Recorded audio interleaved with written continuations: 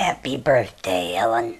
My sources tell me that you are a very special person who has a big soft spot in your heart for cats. So, to honor you on your special day, For Ellen, a friend to cats everywhere. Happy birthday to you, our friend.